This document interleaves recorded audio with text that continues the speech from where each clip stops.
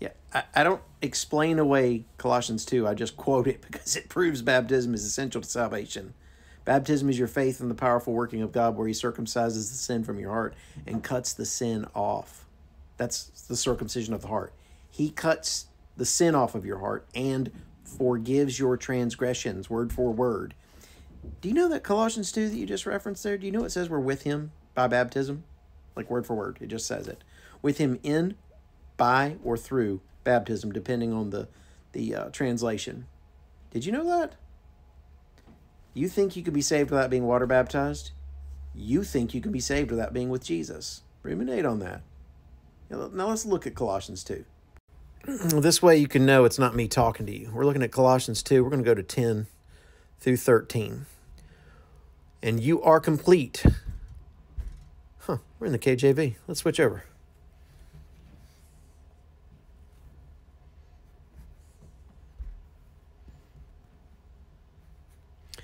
And you are complete in him. Who is in him?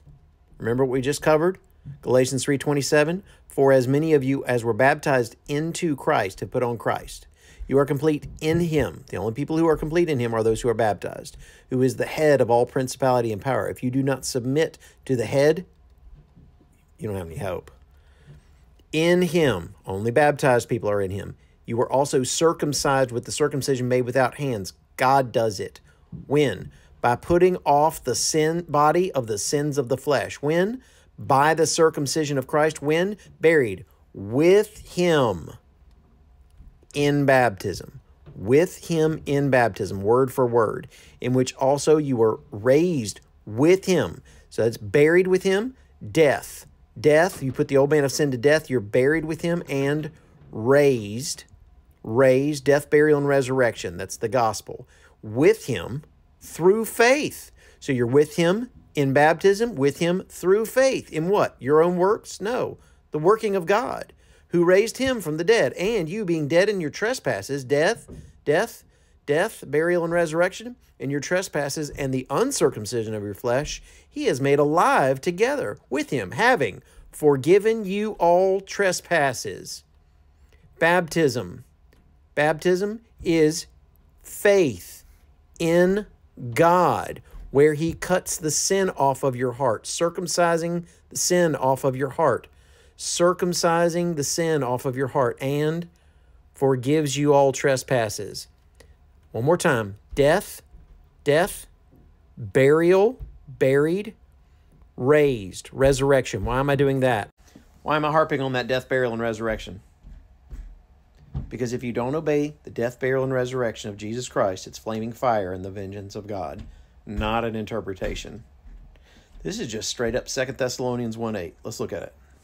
We're going to start in verse 7 and to give you who are troubled rest with us when the Lord Jesus is revealed from heaven with his mighty angels in flaming fire, taking vengeance on them who do not know God and on those who do not obey the gospel of our Lord Jesus Christ. These shall be punished with everlasting destruction from the presence of the Lord and from the glory of his power. Look at this. Obey the gospel. If you do not obey the gospel, it's flaming fire and the vengeance of God. Obey the gospel. So from that Colossians 2 and that Second Thessalonians 1 7 through 9, what have we learned? If you don't obey the gospel, it's flaming fire and the vengeance of God. Colossians 2 10 through 13 shows that baptism is your faith in the powerful working of God. When you do it, you put the old man of sin to death. You are buried, death, burial, with him, and raised to walk in newness of life. That's the death, burial, and resurrection. And you have to obey that. That's exactly what the Romans did too in Romans 6 3 and 4. And that same parallel account there, not parallel account, that same parallel Bible fact it says that we are with him in baptism in both accounts. If you think that you can be saved without being baptized, you think that you can be saved without being with Jesus because both accounts say with him in baptism. Let's look at Romans 6 now.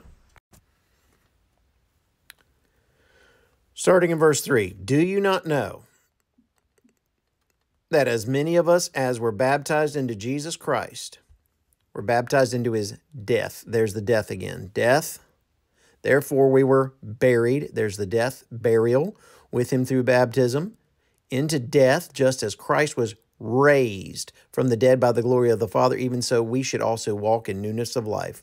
Raised, death, burial, resurrection. Death, burial, resurrection.